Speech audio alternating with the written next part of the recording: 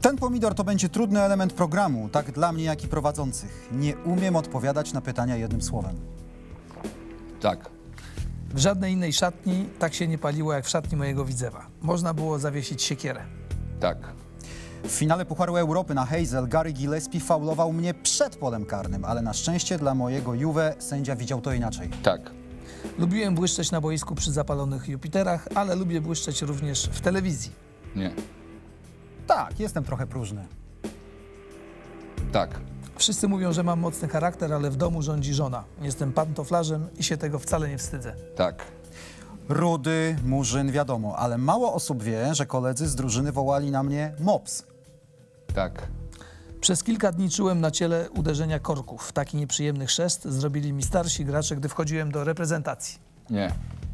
Zastanawiam się czasem, czy nie zaszedłbym jeszcze dalej, gdybym miał trochę więcej pokory. Nie. Robert Lewandowski jest lepszym ode mnie piłkarzem. Pomidor.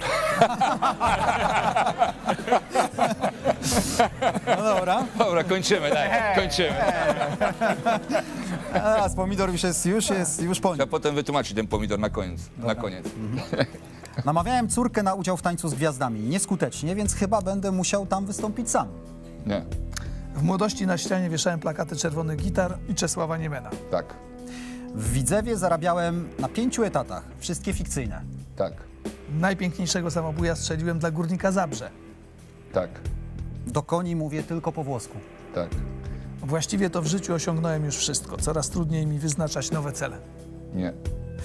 Powiem wam w tym programie, zaraz po pomidorze, o czym rozmawiałem z Kaziem Dejną przed rzutem karnym w meczu z Argentyną w 78 roku. Powiem wam. Legia wygra jakiś mecz w tegorocznej Lidze Mistrzów. Aj, aj. Jak to się mówi, I hope. Mam nadzieję. No dobrze, niech będzie tak. Nawałka trenerem reprezentacji Polski podczas Mistrzostw Świata w 2026 roku to naprawdę możliwe. Nie. Milik W daje... 2020? Szóstym. Nie. Milik daje Napoli więcej niż dałby Iguain. Nie. Jeśli Pogba wart jest dzisiaj około 120 milionów euro, to znaczy, że ja w latach 80. wart byłbym w okolicach 150. Tak.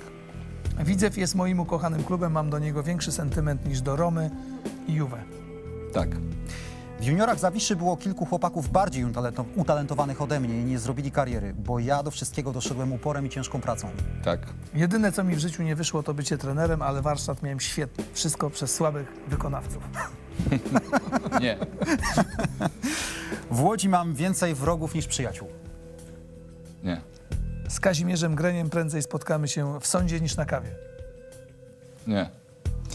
Nie wygramy z dopingiem, więc pozwólmy na kontrolowany. Tak. Już trenując go w Lecce wiedziałem, że Antonio Conte zostanie świetnym trenerem. Tak. Kiedyś będę szefem UEFA. Nie. Wierzę w niewinność Platiniego. Tak. Koniec.